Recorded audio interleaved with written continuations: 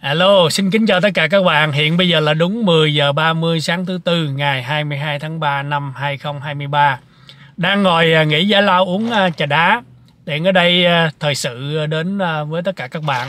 Giải trí đến với tất cả các bạn vào một buổi sáng thứ tư. Xin phép các bạn hớp một miếng trà đá.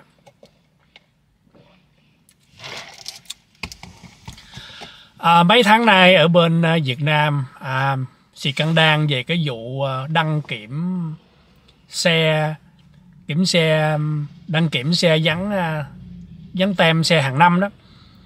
Thì ở trên toàn thế giới luôn cái xe của mình chạy đó là vào mỗi 6 tháng một năm hay hai năm như vậy đó là mình phải đưa tới một cái à, địa điểm một cái đại lý để mà mình xem coi um, càng bánh xe đồ những cái bộ phận um, dầu nhớt đồ coi nó an toàn không để mà mình à, đưa nó lên à, xa lộ mình à, sử dụng à, lái ô tô thì nó an toàn cho mọi người. Ở bên Việt Nam đó thì cái văn hóa đó là thủ tục đầu tiên là tiền đâu. Từ ngàn xưa tới giờ bây giờ các bạn thậm chí ngày hôm nay cho đến ngày hôm nay cũng vậy mặc dù báo chí ở Việt Nam họ loan tin, họ nói những cái lời hoa mỹ làm cho người dân có cái cảm giác là, ôi, bây giờ năm 2023 nó không có giống như ngày xưa đâu. Bây giờ nó khác rồi, nó đỡ rồi. Nhưng mà thật ra không phải vậy các bạn. Cái văn hóa nó đi nó đi vào cái cái DNA nó đi vào cái máu của mình rồi. Thì về cái lý do mà ở bên Việt Nam người ta có à, cái vụ xì căng đan mà về đăng kiểm người ta đóng cửa rất là nhiều chi nhánh đó. Trước đó, đó là nó có nhiều cái chiếc xe xe khách xe buýt bỗng dưng chạy ở trên đường như vậy nó bị nổ lớp. Nổ lớp là do cái chỗ đăng kiểm á người ta khi mà người ta đăng kiểm cái xe theo chu kỳ á người ta không có kinh nghiệm để xem bốn cái bánh xe nó nó nó nó ăn mòn hay là bốn cái vỏ xe đó đó, nó có còn tốt để mà lăn bánh ở trên sân lộ hay không? Thì cái văn hóa Việt Nam mình cứ, thủ tục đầu tiên mình cứ chi ra. Kể cả mà các bạn đi vào à, bệnh viện cũng vậy nữa. Hiện tại bây giờ nè, thời buổi bây giờ nè, ở bên Việt Nam các bạn đi vào bệnh viện, người có tiền á, thì được bác sĩ ở bên Việt Nam á, đối đãi rất là chu đáo. Còn cái người không có tiền á, thì nằm lăn ra những cái cái hallway những cái um, cái bên lề của những cái phòng ở trong cái bệnh viện những cái lối đi đó nằm mà ngồi bẹp ở đó chờ đợi. Còn ai mà có tiền thì được vô nằm ngủ kể cả trong bệnh viện mà thuốc men cũng vậy nữa. Người không có tiền thì thì chịu chặn. Còn người có tiền thì được, có thuốc men đầy đủ. Nhưng mà cái đó nó chỉ có xảy ra ở cái xã hội ở bên Việt Nam thôi. Chứ còn mà những cái trên khắp thế giới đó, những cái người nghèo, những cái người giàu đi vô bệnh viện, ai bệnh đi theo thứ tự được nằm trên giường bệnh giống như nhau. Bác sĩ đối đãi tất cả mọi người giống như nhau trừ ra những cái nước cộng sản như ở nước, ở nước Việt Nam các bạn nghèo là các bạn thiệt thòi. Kể cả mà đụng tới pháp lực cũng vậy đó người có tiền thì được giảm giảm tội. Đó thì ở bên Việt Nam á thật ra đó là họ dở chiêu trò để họ muốn kiếm tiền người ta thôi chứ mà về đăng kiểm nói chung á là người Việt Nam rất là thông minh. Ở bên Việt Nam á hàng năm có là hàng ngàn hàng ngàn các em học sinh đi du học ở nước ngoài. Ít nhiều gì đó là người ta cũng đem những cái hay, những cái mà người ta học hỏi được từ ở nước, các nước tây phương, người ta đi về việt nam, người ta có thể phục vụ hay là tư vấn hay là truyền đạt lại những cái gì mà cái kiến thức mà người ta học được. Thì ở bên nước ngoài á, những cái nơi mà mà người ta đăng ký, mà người ta muốn dịch vụ đăng kiểm xe hàng năm ở bên Mỹ, ở bên mấy cái nước tư bản á, là người ta phải đi qua một cái phá huấn luyện. Khóa huấn luyện tức là cái người thợ đó đó, khi mà người ta coi bốn cái bánh xe đó, người ta nhìn vào cái lớp vỏ xe đó, người ta biết được cái vỏ xe này nó còn tốt hay không, nó còn bao nhiêu phần trăm, thì người ta nói không tôi không thể nào tôi dán tem xe tôi không có thể nào tôi cho anh đậu được. Tại vì bốn cái vỏ xe của anh á nó bị mòn quá rồi trên 80 phần trăm rồi. Nếu mà bây giờ tôi dán tem cho anh á anh chạy đi ra xa lộ cao tốc ở ờ, Trung Lương cao tốc Trung Lương cao tốc Hải Phòng gì đó cao tốc quốc lộ một à, quốc lộ 1A gì đó là anh sẽ bị nổ lớp cho nên tôi không có cho anh đậu tôi không có dán tem cho anh nhưng mà ở Việt Nam á, là người ta chi tiền ra. Các bạn biết không? Ok nè anh lấy đi uống cà phê đi. Rồi ok dán tem đậu chạy xe ra chạy hai ba tuần cái xe nó nổ đang chạy trên đường nó nổ lớp rồi nó nó nó nó, nó cháy cái xe nguội người ta luôn. Rồi thắng á thắng á đạp thắng nó không ăn là cũng do lỗi mấy cái chỗ. Còn ở bên mỹ á những cái nơi mà những cái trạm mà đăng đăng uh, kiểm uh, inspection xe của mình đó là người ta à, xin giấy phép rồi người ta được cái sự huấn luyện rồi bên chính phủ người ta đi xuống người ta đặt những cái hệ thống điện tử. Không ở bên ở bên Mỹ á, không có thể nào mà mà ăn hối lộ không có thể nào mà cái xe mà giống như không đậu mà người ta à, ăn hối lộ người ta cho mình đậu. Trước kia thì nó cũng có một vài cái trường hợp nhỏ nhưng mà dạo gần đây là người ta chính phủ người ta tăng tiến lắm. Người ta đưa ra những cái máy computer. Thì á khi mà mình đưa cái xe mình ở bên Mỹ mình đưa cái xe mình tới một cái trạm một cái trạm đăng kiểm. Thì trong cái quá trình cái người đăng kiểm đó người ta đăng kiểm đó đó là người khi mà người ta bắt đầu vào đăng kiểm giống như mình đi vô cái cái trạm ở bên đây ở đây gọi là state inspection là nói theo kiểu Việt Nam là cái trạm đăng kiểm xe đó. Kiểm xe của mình xe của mình nó có an toàn không? Mỗi định, định kỳ mỗi một năm là một lần ở bên Mỹ đó. Thì mình đi tới cái trạm.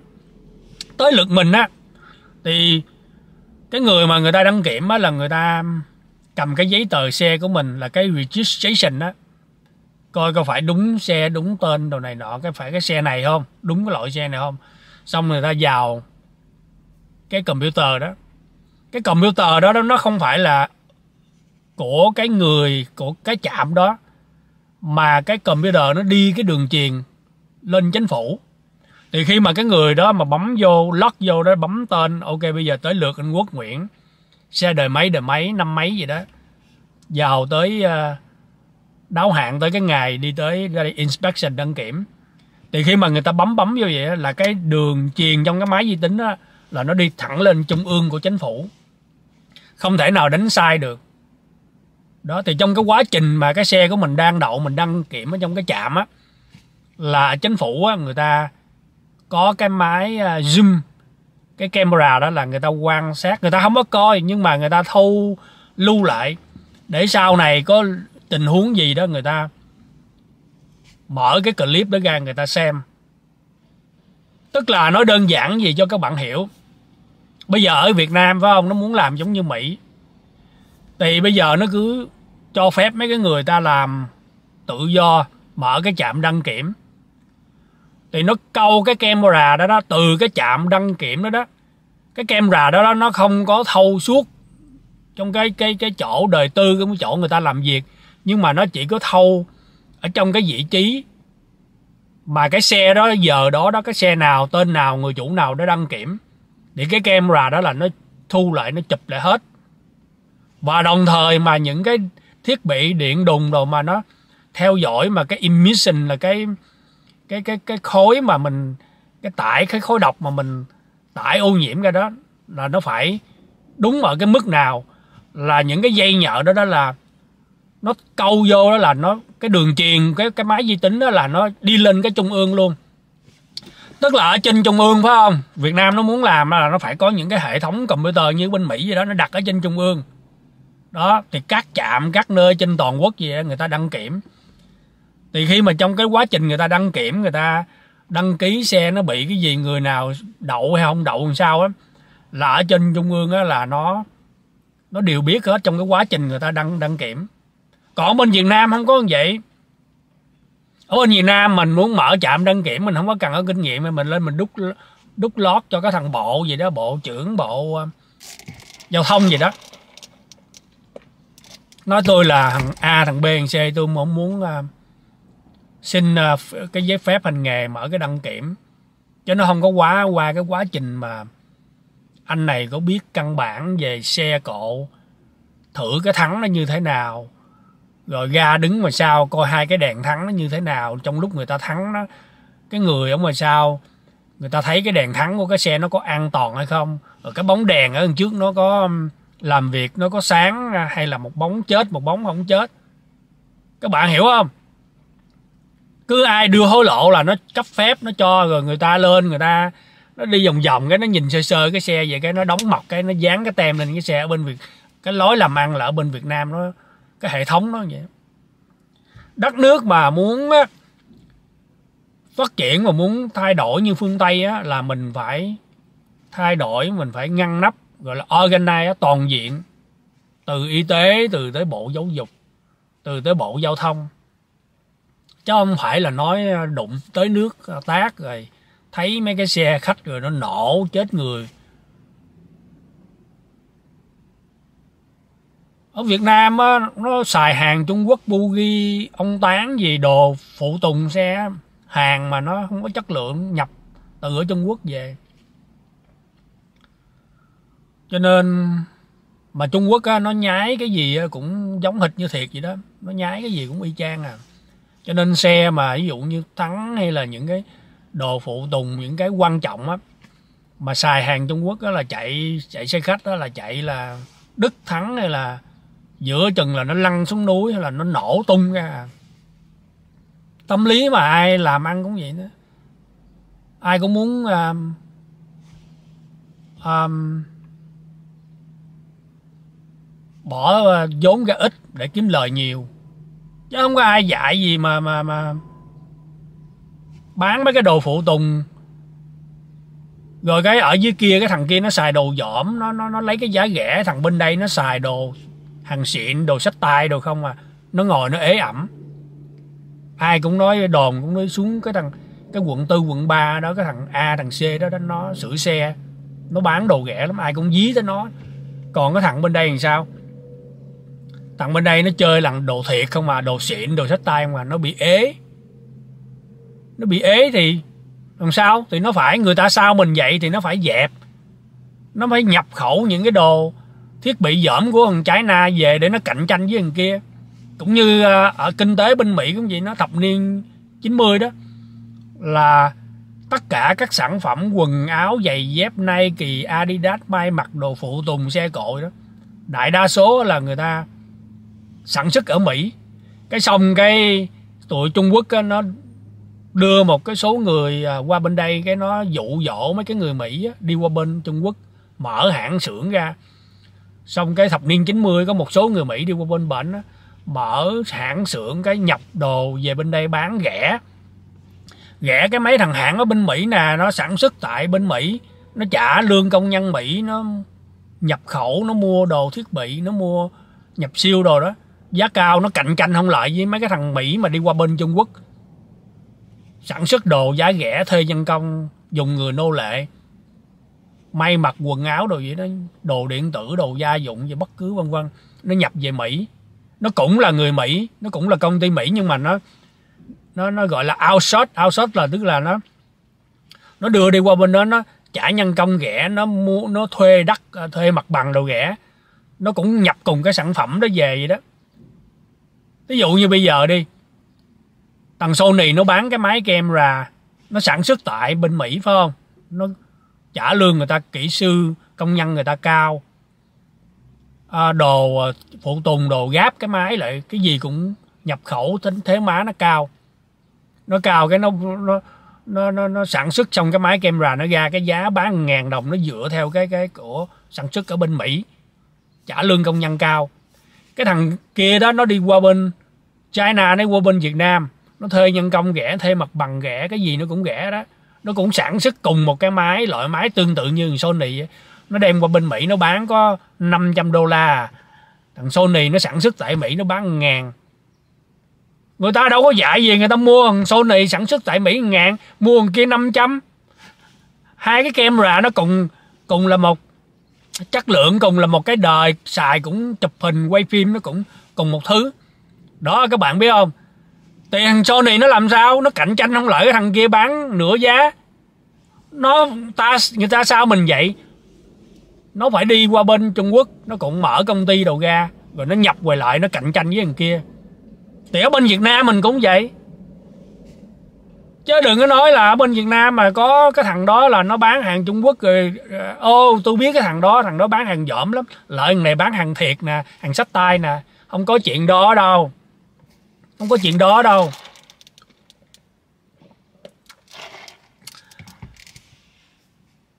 Bởi vì có nhiều người á, chứ hiểu biết á, nói à, đi về Việt Nam á, làm trồng găng sứ găng giả gì đó, implant rồi đó đó.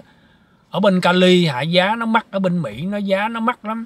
Đi về bên đó cấy hàm răng đồ, tiết kiệm được hai, ba chục phần trăm đồ. Không có chuyện đó đâu. Các bạn nên biết á mấy cái găng giả của mình đó là người ta sản xuất tại Đức hay tại Mỹ tại gốc á. Ví dụ như mình nói một cái cái găng đi một cái găng giả đi năm mình nói ví dụ cái chuẩn 500 đô. Thằng Việt Nam á nó nhập từ thằng Mỹ về. Nó nhập từ thằng Mỹ về cũng cái găng đó đó nó phải đóng thuế vát đóng thuế nhập khẩu xuất nhập khẩu. Cái găng người bên Mỹ á, người ta xài cái găng đó đó là một 500 đô. Thằng Việt Nam á, thằng nha sĩ nó bán ra các bạn á phải là 700 đô. Tại vì nó cộng thêm 200 đô tiền thuế nhập khẩu, tiền thuế vát tiền này tiền kia. Tất cả những cái đồ gì mà ở bên Mỹ các bạn gửi về là đều đóng thuế hết đó. Bởi vì nhiều khi á, mình muốn gửi mấy cái đồ mà mình lụm gác, đồ mấy cái đồ điện tử á, từ xưa giờ mình không gửi cho mấy cái đứa em của mình. Mình trong lòng mình muốn gửi lắm. Nhưng mà kẹt cái nỗi đó ở trên thế giới này các bạn gửi đi trên thế giới này, bình thường không ai đánh thế gì mình hết á. Mà gửi hàng ghét hàng đồ về Việt Nam á bất cứ một cái gì nó mời gia đình của mình lên. Nhận hàng á nó mở ra nó dựa theo à, cái giá trị nó đánh đánh thế. Cho nên mình không có bao giờ mà mình lụm mấy cái đồ điện tử máy vi tính lo đồ màn hình đồ mình gửi về Việt Nam không bao giờ gửi cho mấy đứa em trừ khi nào mà mình gửi về á, mà ở bên Việt Nam nó không có đánh thế á. Mà các bạn đừng có nghĩ là, đừng có nói là trên thế giới này ai cũng đánh không có, ai sống bên nước ngoài người ta cũng đều biết hết đó các bạn gửi đồ đi khắp trên thế giới, không có ai đánh thế đó trừ cái thằng Việt Nam ra.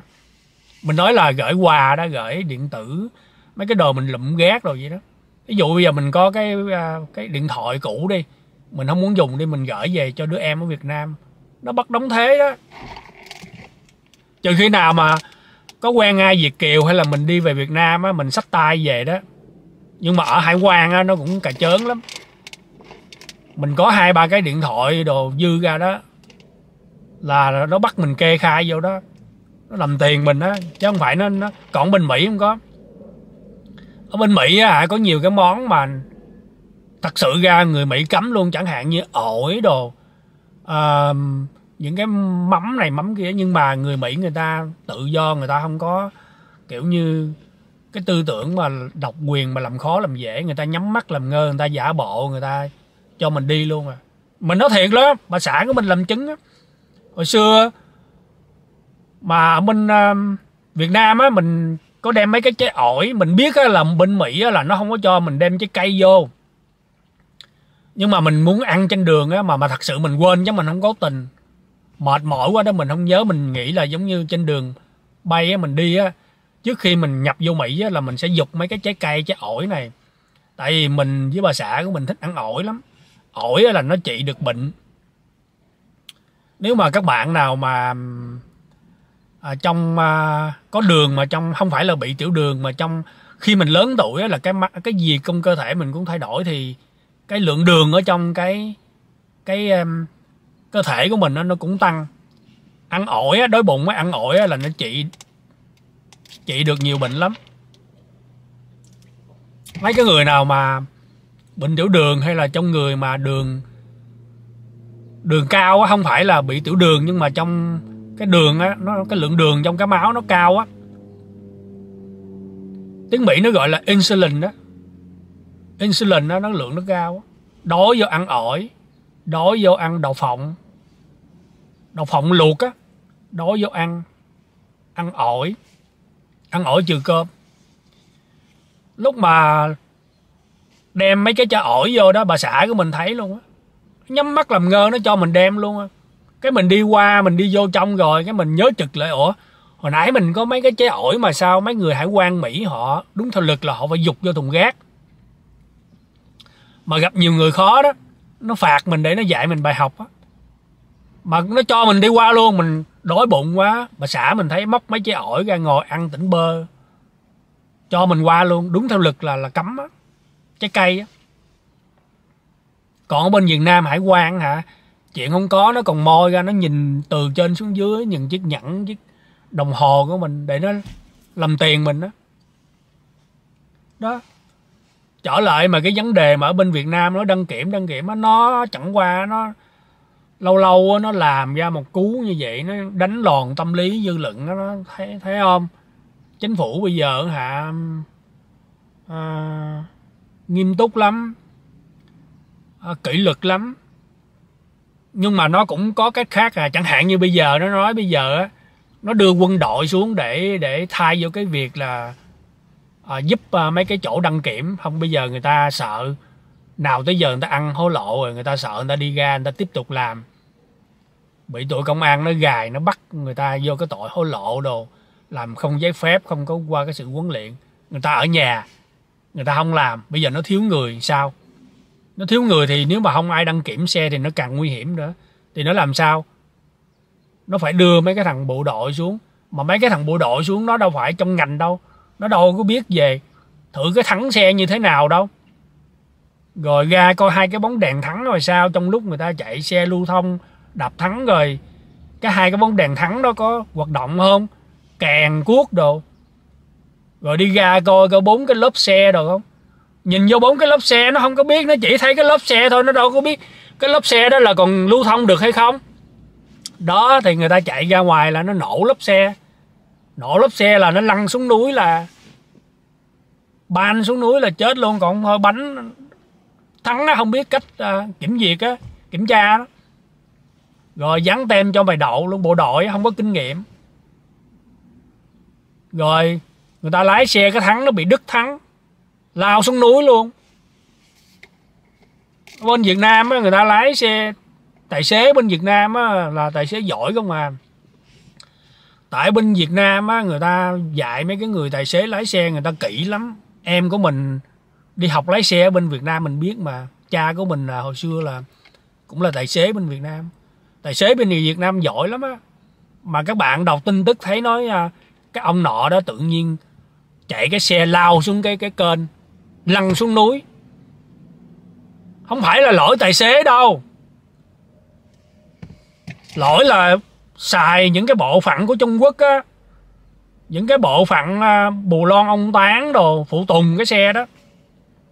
Các bạn lên YouTube xem những cái clip ở bên Việt Nam á. Các bạn biết tài xế bên Việt Nam xe tải mà chiến lắm á, xe tải giỏi lắm. Mà cái xe tải đang chạy tự nhiên cái nó quẹo ngang à.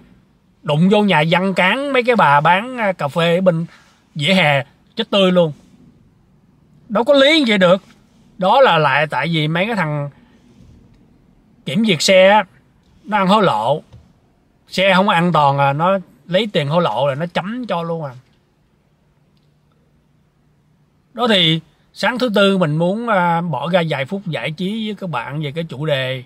Ở bên Việt Nam á họ cố tình họ họ cố tình họ làm như vậy để cho người ta có cái đường sống ăn hối lộ bác sĩ đồ ăn hối lộ hay là ngành công an bộ giao thông đồ người ta uh, ăn hối lộ để mà người ta môi sinh chứ thật ra là ở Việt Nam của mình giỏi lắm họ muốn kiểm duyệt xe họ muốn inspection xe như ở bên Mỹ không có gì khó đó.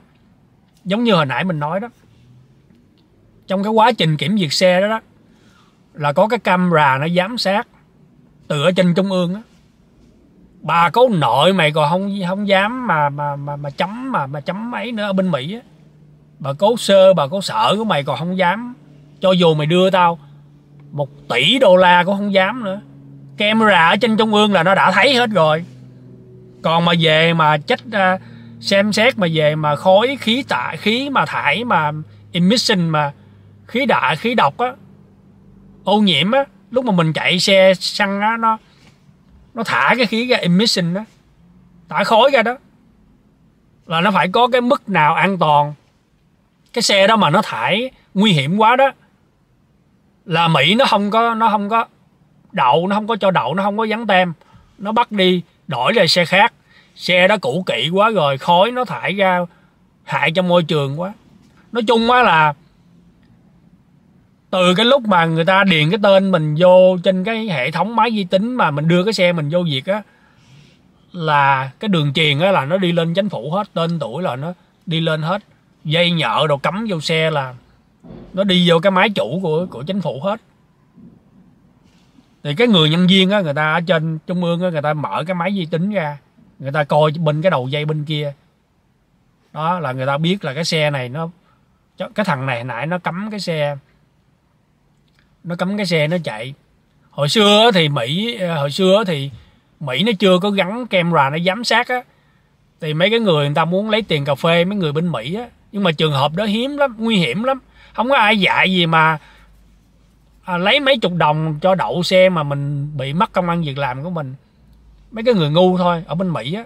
Trường hợp mà người ta ăn gian đó là hiếm lắm. Thì hồi xưa chưa có gắn camera đó. Người ta còn đổi cái xe người ta cháo các bạn biết không? Ví dụ như mình đưa cái xe từ vô tài của mình đi. Kèn đồ thắng đồ mình bị yếu không có đủ tiêu chuẩn gì đó thì nó có thể nó mượn cái xe Toyota của nó, thằng khác vô, nó thế được. Nhưng mà bây giờ người ta có cái máy camera giám sát rồi. Cái camera đó là nó truyền đi lên tới trung ương luôn á. Các bạn mà ở bên Mỹ mà các bạn đưa nó một triệu đô la bà nội nó còn không dám nữa. Trừ khi tiểu bang nào nó không gắn camera thôi, chứ tiểu bang của mình là có hết. Các bạn mà quen biết ai mà làm cái ngành mà kiểm xe inspection ở bên Mỹ, các bạn hỏi đi. Có camera hết ăn gian không được. Còn mà ở bên Việt Nam nói đưa mấy cái thằng quân đội xuống. Mấy cái thằng quân đội xuống lúc mà nó kiểm cái xe, nó nhìn bốn cái bánh xe, nó nó có biết là bốn cái bánh xe đó nó có còn tốt hay không? Các bạn hiểu mình nói không? Nó nó đâu có qua cái sự huấn luyện đâu, nó đâu có trong nghề đâu mà nó biết. Đó thì nó dán tem mà nó đưa cái xe người ta, nó cho người ta đậu ra ngoài bốn cái bánh xe. Nó cũ quá, nó mòn quá đang chạy chạy chạy trên cái mé núi vậy nó nổ lớp cái lật cái xe xuống núi. Đi bắn muối hết luôn. Đó thì uh, thứ tư bỏ ra vài phút giải trí đến với tất cả các bạn. Cảm ơn sự theo dõi và lắng nghe của các bạn. Xin chào tạm biệt, hẹn các bạn lại trong những clip kỳ sau. Chúc cho tất cả các bạn một ngày thật là nhiều sức khỏe và bình an.